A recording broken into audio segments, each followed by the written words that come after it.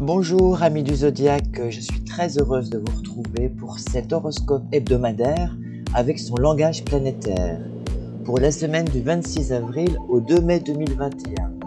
Pour les natifs Lion cette semaine, le soleil va jouer avec bonheur. En rejoignant le carré de Saturne, ces influx planétaires dissonants vont bloquer ou faire échouer vos projets. Cela pourra même avoir une répercussion négative sur votre trésorerie. Côté vitalité, attention à de possibles maux dentaires.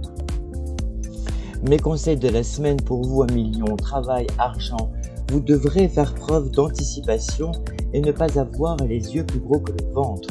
Il vaut mieux tout vérifier deux fois que de survoler les problèmes ou de faire l'autruche. Pour diminuer votre tension intérieure, ayez un sommeil de qualité et pratiquez la méditation. Belle semaine astrale à vous, à millions.